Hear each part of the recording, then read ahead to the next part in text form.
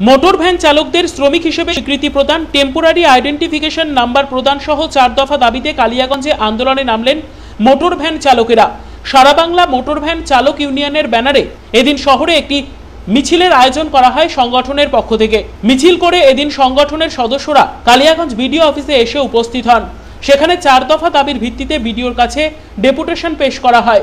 এই কর্মসূচিতে নেতৃত্ব দেন সারা বাংলা মোটর ভ্যান চালক ইউনিয়নের উত্তর দিনাজপুর জেলা সম্পাদক গোপাল দেবনাথ। ডেপুটেশন পেশ করবার পর এদিন সংবাদ মাধ্যমের মুখোমুখি হয়ে গোপালবাবু জানিয়েছেন, তাদের মোট চারটি দাবি রয়েছে। দাবিগুলি হলো মোটর ভ্যান চালকদের শ্রমিক হিসেবে স্বীকৃতি প্রদান টেম্পোরারি আইডেন্টিফিকেশন নাম্বার প্রদান, সরকারিভাবে লাইসেন্স প্রদান এবং মোটর ভ্যান চালকদের জন্য পৃথকভাবে করোনার ভ্যাকসিনেশনের ব্যবস্থা করা। কালিয়াগঞ্জ ব্লকের বহু মোটর ভ্যান চালক তাদের টেম্পোরারি আইডেন্টিফিকেশন নাম্বার অর্থাৎ তিন নাম্বার নেই ফলে আমরা বিডিওর কাছে আবেদন করব যে সমস্ত মোটর চালকদের তিন নাম্বার প্রদান করা হোক। সাথে সরকার লেবার মানে পরিবহন মন্ত্রী উনি বলেছিলেন যে মোটর ভ্যান চালকদের শ্রমিক হিসেবে স্বীকৃতি দেবে এবং তাদের পরিচয়পত্র দিবে। সেটা আমরা ব্লক লেভেলে কী করে পাবো, সেটা নিয়ে আলোচনা করব।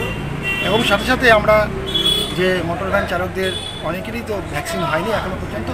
ফলে সমস্ত মোটর ভ্যান চালকদের যাতে ভ্যাকসিনের ব্যবস্থা করতে পারে বিডিও সাহেব তার ব্লকের অধীনে যে সমস্ত মোটর ভ্যান চালকরা আছেন, তারা যাতে প্রত্যেকে যাতে মোটর ভ্যান চালকরা ভ্যাকসিন পায়, তার যাতে সুব্যবস্থা উনি করতে পারেন, সেটা নিয়েই আমরা মূলত আজকে এই ভিডিও ডেপুটেশন দাবিগুলি খতিয়ে দেখে ব্যবস্থা নেওয়ার আশ্বাস দিয়েছে ব্লক প্রশাসন।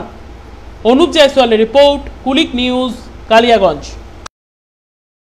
অভিযোগ পাওয়ার চব্বিশ ঘণ্টার মধ্যে যথেষ্ট তৎপরতার সাথে চুরি যাওয়া টোটো উদ্ধার করতে সক্ষম হলো উত্তর দিনাজপুর জেলার রায়গঞ্জ থানার পুলিশ। প্রসঙ্গত গত বেশ কয়েকদিন থেকে রায়গঞ্জ শহরের বিভিন্ন এলাকায় অলিতে গলিতে টোটো চুরির ঘটনা ঘটছে। যদিও প্রতিটি ক্ষেত্রেই তৎপরতার সাথে চুরি যাওয়া টোটো উদ্ধার করতে সক্ষম হয়েছে পুলিশ। পুলিশ সূত্রে জানা গিয়েছে, গতকাল রাতে এই ঘটনাটি ঘটেছে রায়গঞ্জ শহরের অশোকপল্লী এলাকায়। ওই এলাকার বাসিন্দা সুব্রত দত্ত পেশায় টোটো চালক। গতকাল গভীর রাতে তার বাড়ি থেকে টোটো চুরি করে পালায় দুষ্কৃতীরা। আজ সকালে রায়গঞ্জ থানায় লিখিতভাবে অভিযোগ দায়ের করেন সুব্রত বাবু এরপরই সিসিটিভি ক্যামেরার ফুটেজ খতিয়ে দেখে ঘটনার তদন্তে নামে পুলিশ। চিরুনি তল্লাশি চালিয়ে রায়গঞ্জ শহরের শক্তিনগর এলাকা থেকে উদ্ধার হয় চুরি যাওয়া টোটো।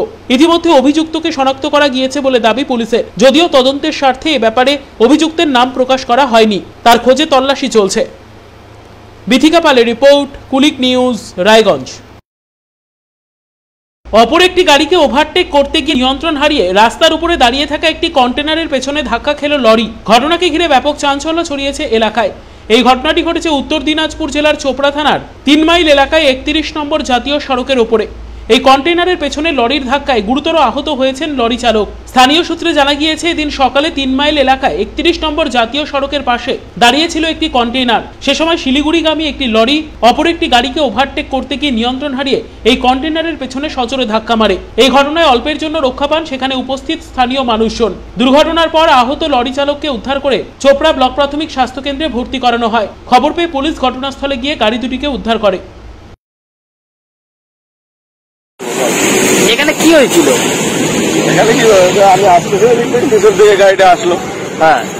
কীভাবে ধাক্কা মারলো? অ্যাক্সিডেন্টটা কীভাবে হলো? আমি তো ভাবছি যে আমাকে আমার লাগাই দিবে নাকি? আমি পাড়ায় চলে আসতেছি এখানে একটা গাড়ি দাঁড় করানো ছিল। তার পিছনে এসে লাগাই গাড়িটা কি স্পিডে ছিল? না কোনো গাড়িকে ওভারটেক করছিল? হ্যাঁ গাড়ি একটা গাড়িকে ওভারটেক করতে ওভারটেক করে কন্ট্রোল হারিয়ে কি এভাবে কন্ট্রোল করতে পারিনি তখনই লাগাই দিই আর সামনে যে গাড়িটা ছিল ওই গাড়িটিকে দাঁড়িয়েছিল এখানে? হ্যাঁ এখানে দাঁড়িয়েছে। ওটা দশ পনেরো মিনিট আগেই দাঁড়িয়ে আছে হীরক মুখার্জি রিপোর্ট কুলিক নিউজ চোপড়া।